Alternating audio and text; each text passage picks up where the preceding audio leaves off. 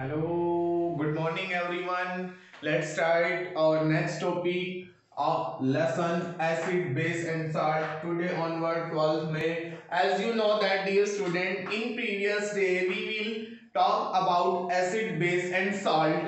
तो आज का जो एपिसोड है उसमें हम बात करेंगे जो एसिड बेस के साथ साथ इनके जो सॉल्यूशन होते हैं मीन्स जब इनको मिक्स कर दिया जाता है एसिड को बेस के साथ ये हमने सारी बातें की हैं तो don't waste time let's guys our lesson acid base and salt इससे पहले हमने इसकी पढ़ी है केमिकल प्रॉपर्टी और एसिड की और बेस की, उसका लिंक आपको डिस्क्रिप्शन में मिल जाएगा पार्ट एक का। आज हम बात कर रहे हैं पार्ट टू की। पार्ट टू पार्ट एक जो था उसका लिंक आपको डिस्क्रिप्शन में मिल जाएगा। अगर आप इस चैनल पे नए हैं तो हमारे चैनल को सब्सक्राइब कर लें ताकि आने वाली वीडियोस आपको बहुत जल्दी से प्रोवाइड हो सके। तो let's start our lesson acid base and salt guys देखिए क्या है, इससे पहले हमने बात की थी केमिकल फ़िज़िकल प्रॉपर्टी की। आगे हम बात करते हैं डाइल्यूट सॉल्यूशन क्या होता है। देखिए, जो डाइल्यूट सॉल्यूशन है, वो एसिड से भी होता है और बेस का भी होता है। उन दोनों में क्या होता है, जब डाइल्यूट सॉल्यूशन कोई भी बनाया जाता है तो दोनों में ही किसी में हाइड्रोनियम आयन बन जाते हैं, किसी में एक्वस सॉल्यूशन में से दो चार्जेस जो एलिमेंट है, वो निकल जाते हैं। जैसे किसी पे पॉजिटिव चार्ज है और किसी पे नेगेटिव चार्ज है। तो आइए हम बात करते हैं सबसे पहले तो ये जान लेते हैं कि डाइल्यूट सॉल्यूशन क्या चीज़ है। तो देखिए क्या है कि कंसंट्रेशन ऑफ़ एसिड या बेस कंसंट्रेशन जो होती है, या एसिड की हो या बेस की हो, इन डाइल्यूट वो डाइल्यूट हो सकता है एसिड हो या फिर बेस हो। Solution is always low due to addition of water in it वो हमेशा लो रहता है, कम रहता है। तब जब हम उसमें वाटर मिलाते हैं तो देखिए, सबसे पहले अगर हम बात करें डाइल्यूट सॉल्यूशन की, जो फर्स्टली है हमारे पास, वो है when acid react with water when when acid react with react with water.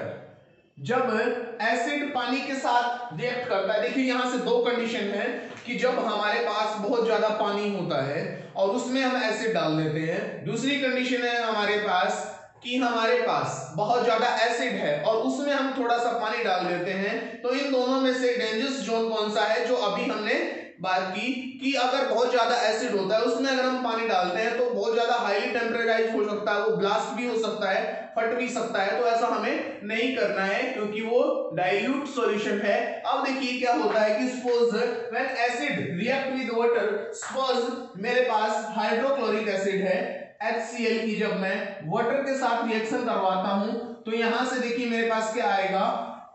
H3O plus यहाँ से हाइड्रोनियम आयन के साथ साथ क्लोरीन जो है वो बाहर निकल जाएगा, ये पॉजिटिव होगा।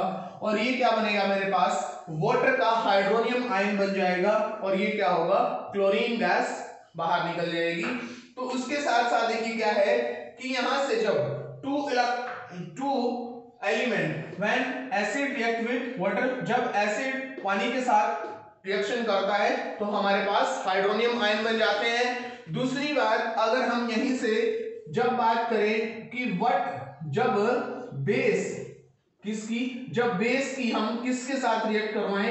Base react with react with water suppose base है मेरे पास कोई भी फॉर एग्जांपल NaOH ले लेता हूँ मैं सोडियम हाइड्रोक्साइड की जब मैंने वाटर के साथ रिएक्शन करवाई तो यहाँ से देखिए क्या हो जाएगा? यहाँ से सोडियम जो है वो Na प्लस और प्लस में H2O जो है मीन्स यहाँ से हाइड्रोक्साइड आयन बाहर निकल जाएँगे। तो आई होप ये आपको समझ आया होगा, ये जो सॉल्यूशन है, ये ऐसे आगे तक हम करते रहेंगे। उसके बाद आगे बात आती है एल्कलाइज की। एल्कलाई क्या होता है? एल्कलाई देखिए क्या होता है।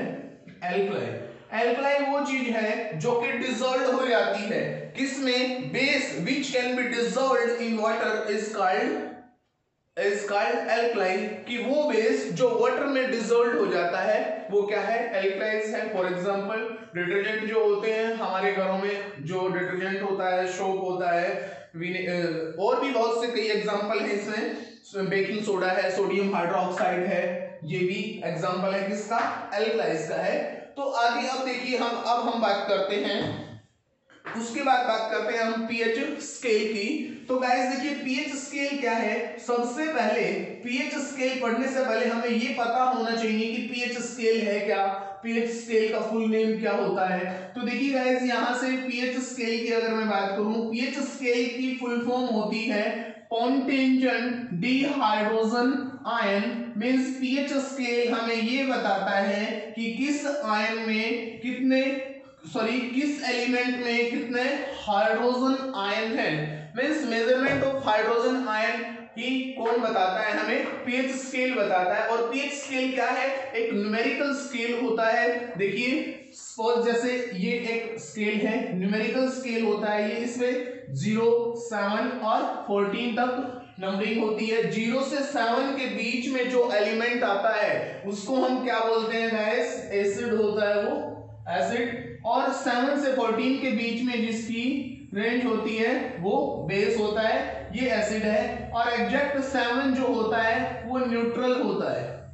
फॉर एग्ज़ाम्पल ड्रिंकिंग वाटर जो हम पानी पीते हैं प्योर वाटर की अगर मैं बात करूँ प्योर वाटर जो है, उसकी एग्जैक्ट अगर पीएच वैल्यू हम देखें तो सेवन होती है गाइस आगे देखिए, अब हम बात करते हैं पीएच स्केल के बारे में ही, कि जैसे अगर सबसे पहले आपकी जो बुक में दिया हुआ है, जैसे एसिड रेन के बारे में बात करूँ मैं एसिड रेन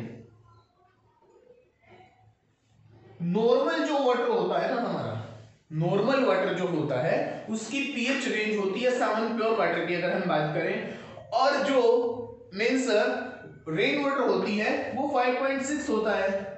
और 5.6 से जब लेस देन हो जाए ना लेस देन 5.6 5.6 से जब कम होता चले इट मींस दैट वो क्या है? एसिड रेन है, जिसका कि हमारे डेली लाइफ में बहुत ज़्यादा हार्मफुल इफ़ेक्ट है, जिसके कारण स्किन कैंसर स्किन डिज़ीज़ जो हमारी ब्यूटी ऑफ़ ताज थी, वो भी इसी ने छीन ली हमसे। मीन्स दैट क्या है कि ये जो एसिड रेन है, ये कब होती है? जब 5.5 से लेस देन हो जाता है। बहुत इंपॉर्टेंट टॉपिक है। उसके बाद जो सेकंड है टूथ डिके टूथ डीके जो होता है, दंत अक्षर मीन्स दैट दांतों का घिसना, दांत टूटना एरोजन होना स्टार्ट हो जाते हैं। और ऐसा कब होता है? जब हमारे माउथ की जो बकल कैविटी तो होती है, जब हमारे माउथ का पीएच स्केल 5.5 से लेस देन हो जाए। Less than 5.5 it means that हमारे दांत गिरना शुरू हो जाएँगे, टूटना शुरू हो जाएँगे, घिसना शुरू हो जाएँगे। क्यों? क्योंकि वो एसिडिटी हो जाती है मीन्स एसिड क्रिएट हो जाता है हमारे माउथ में। उसके बाद है